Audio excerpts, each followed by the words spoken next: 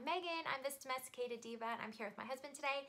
We thought we would share with you a little bit about our move to Florida and how we decided to take our family across the entire country and how that all fell into place. It's true.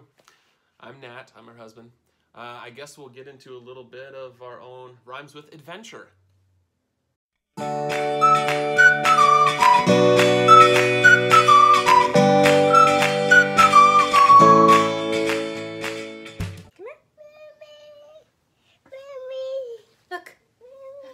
You see yourself? Look. Cutie? Last night definitely ranks in one of the top five longest nights we've had with him. It's cool. We're just over here waiting for daddy so that we can do this video. Are we waiting? Can you can you tell daddy to come here?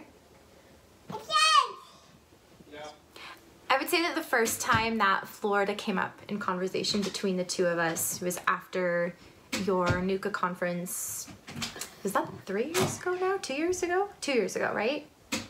But you came home. Kind of one of the things they do at these conferences is they have kind of work fairs where you get to meet a bunch of doctors. Yeah, so I guess we should back up real quick since we keep saying NUCCA. N-U-C-C-A. So the particular upper cervical technique that I'll be practicing is called NUCCA. So since we'll be saying the term NUCCA a lot, that's where that's coming from. Um, but yes, they have a job fair uh, every year at the conference. At the job fair, you know, you meet a bunch of uh, doctors who are looking to take new docs, such as myself, under their wings. Um, you basically train as associates under them. Uh, you learn everything you possibly can um, under them, and then of course you spread your wings and go do your thing. Usually after that, the doc that I met from Florida was really cool, um, but of course I kind of came home and was like, yeah, the doc was really cool, but oh, you know, Florida is so far away. Like, oof, I don't know about that. I'm pretty sure, like, so he called me on the phone and he told me he had met with like five different doctors and was excited about a couple of them. And he was like, you know, there's this one doctor in Florida. And I went, oh, hell no, I am not moving to Florida. Yeah. And he was like, oh, yeah, no, that's, that's not going to work. But I really liked him. yeah. And that was about the extent of that conversation. Yeah, because I, I think at that time I just kind of broached with a couple of the doctors in conversation the idea of, you know, hey, you know, whereabouts your practices? I'd like to work with you, stuff like that. And I had interest from, I don't know, about four or five docs at that time. Basically, kept going to conferences, and uh, it's funny, I just, I kept bumping into that same Florida doctor, and uh, we just kept vibing. The doctor was just really interested and was like, you know, why don't you fly out? check out my practice, meet my family, see my employees, stuff like that. Should I blast him off to bed real quick? Blast him off to bed. Which is funny considering he's wearing rocket jams. That's fine. I think I said it. I think it's night night time.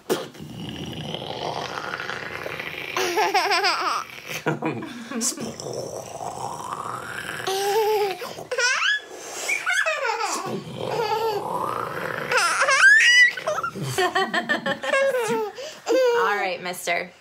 To be continued. Be back. Like I was saying, I think over that last that year between the conference, Florida probably never even crossed my mind again. I like didn't even give it a second thought. Yeah, there's a lot going on at that time. I don't know that either of us really, really thought about that. But obviously, during that year, like, God was clearly doing some work in both of our hearts because we were very much like not even considering it. And then when you called me from the conference that next year, you were really, really excited about this guy. You were really excited about the potential of working in Florida, which I didn't expect, but I also didn't expect my response of like, okay. I think we've kind of reached this point where we've kind of said yes to so many adventures that it's kind of just like, why the heck not? I mean, we can be anywhere for two, three, four years, so it's it's not we like just we look at it but like an adventure. yeah, And then if it turns into something beyond an adventure, you know, we want to plant permanent roots, so be it. You know, that's okay. And you know, funny enough, we've had a lot of like negative reactions when we share that this is where we're headed. Um, I mean, our family fully supports us, Mm-hmm. but we've just had a lot of people who we've asked for advice during this moving process in one way or another be like, Florida, did you go visit there? Did you visit during the summer? Like, do you know what the weather's like? And we're like, yeah, we we definitely did our research. We're not Yeah. someone to just jump into something without doing our research. Any research at all. No, like we have very thoroughly looked into, you know, living costs and what the community is like, what the culture is like. crime, everything. Uh, and part of that too is just our massive over planning personalities that we are. But uh, part You of know, that too, I- which is I read something that Uh-oh. says that's how you cope with anxiety Ah, is by nice. over planning. And I was like, hmm, that's me. I it might does keep a lot of people away from making decisions. I might have like a little bit of anxiety about Uh, moving, like that's under the surface, but I overall I really am excited about it. I think that's healthy. I think that's expected for most people. You do a, a huge move across country like this. I, I think it would be kind of crazy if somebody wasn't like, whew, type of a, you know, take your breath away. But at the same time, you get that same feeling when you're on a roller coaster, whew, right? And But yeah, we get back. I know. I was just gonna say we get back on roller coasters, but I hate roller coasters. No, you don't. You don't get back on it, and you try No. to talk me out of getting back on it. My gosh, we were at like, I mean, side topic. We were at Legoland, and this is when Skylar was like, He wasn't born oh yet. "Oh my gosh, no, no, no, Legoland." Oh, Yeah, Legoland. place. He was four or five. he was four, and Makeda was two.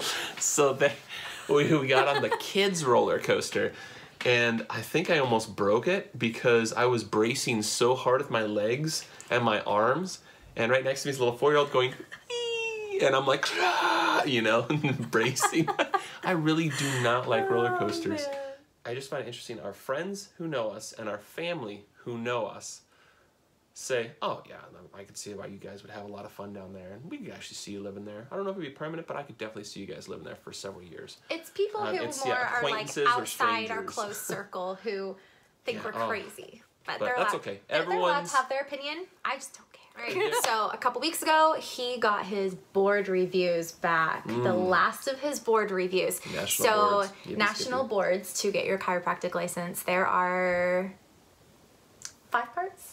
Five parts, and then I also have to take the state version, and then I have to do an X-ray, an X-ray radiologist version and stuff like that. But So the difference between these national boards and many other mm-hmm. national boards you take mm-hmm. for multiple licenses is these came in five parts that you took throughout the course of his program. So it's really been over the past two years, right, that you've been taking these. Yeah, you have the option of taking them all after you graduate, but it just it adds a lot more stress on you to take it during, but it also makes a lot more sense because the information is so much more fresh in your head because just the level of detail they ask some of these questions is absolutely insane, but I'm nervous. Are you nervous? just a little bit.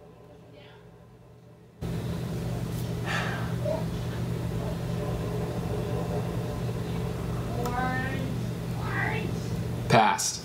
Yeah. Mwah.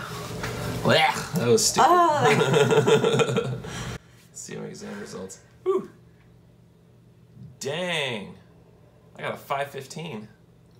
Whoop whoop. 375 is passing.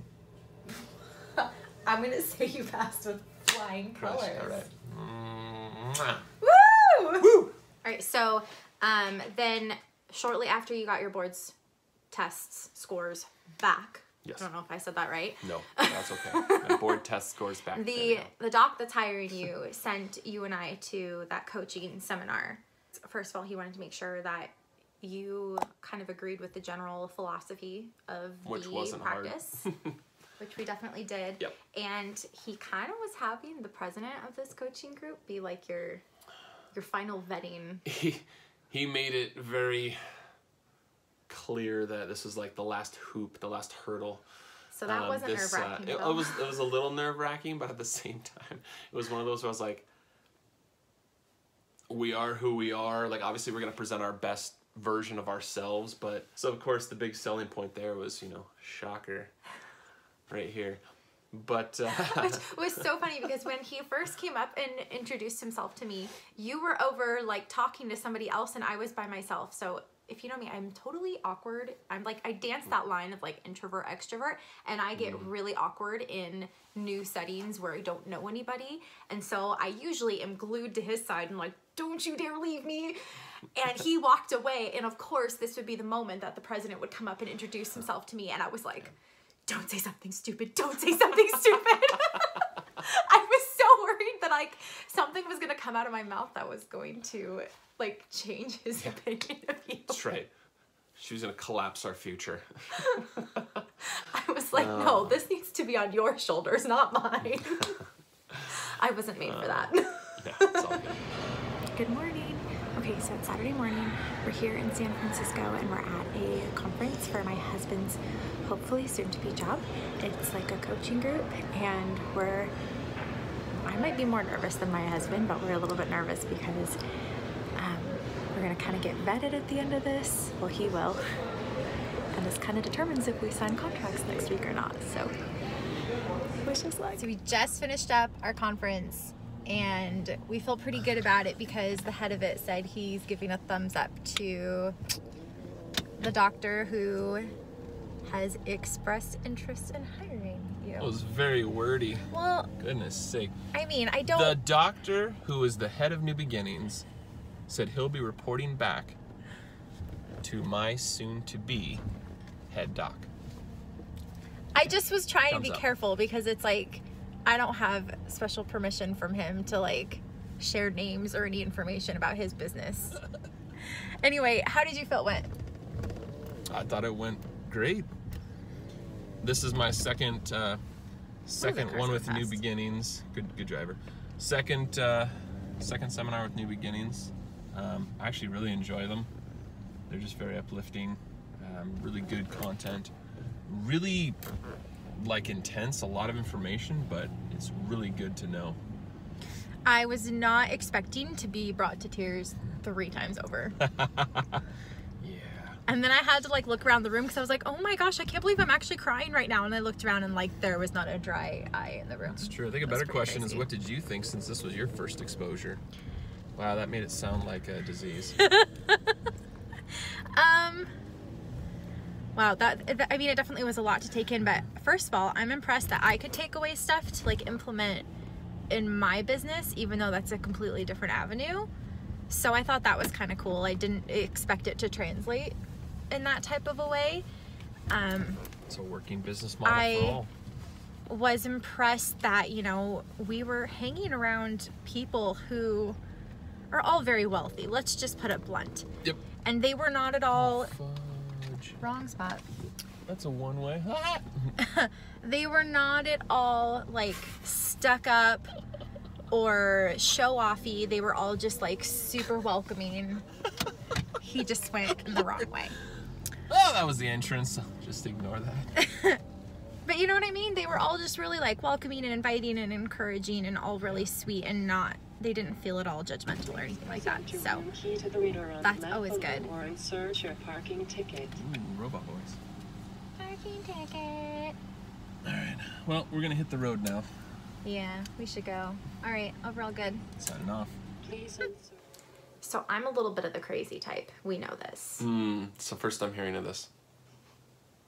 For my sanity, I somehow convinced you to start packing eight weeks prior Oh, to our, Lord. us actually moving.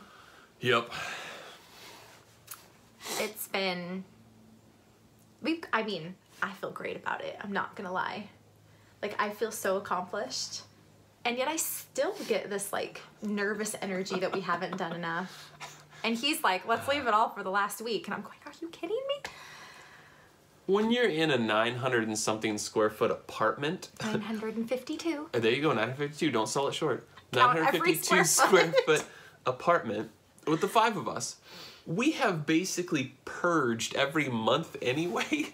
So, have to. Yeah, and then With anything that's not being utilized has to be with this many kids.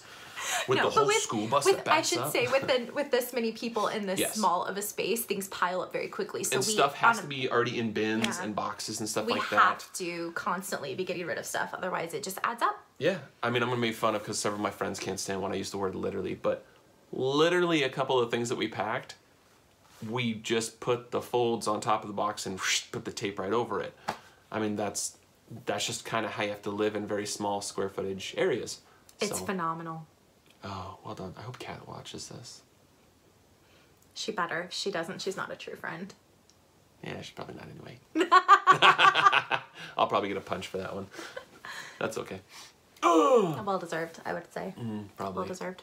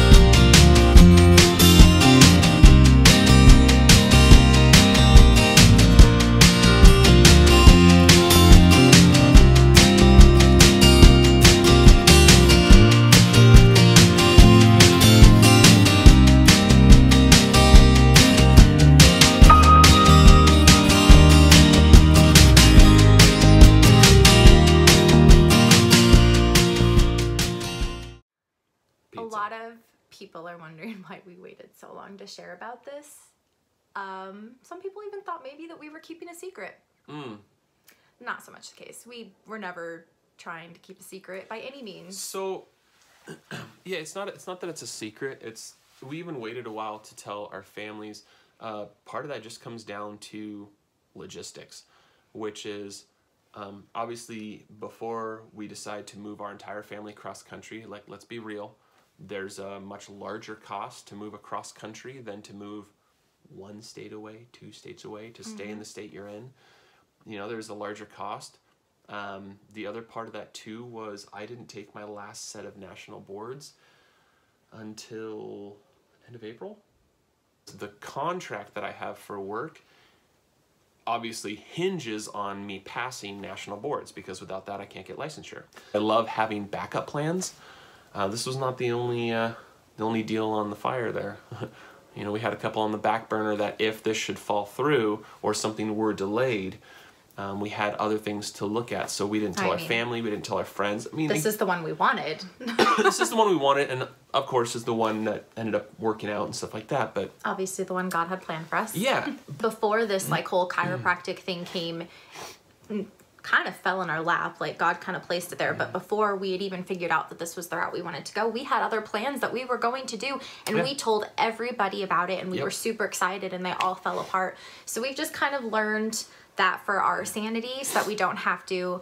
I mean, we've all been there, right? Where we had to explain something that failed to somebody and how hard that is. It's it's kind of just easier to make sure things are actually falling into place before you share with the world.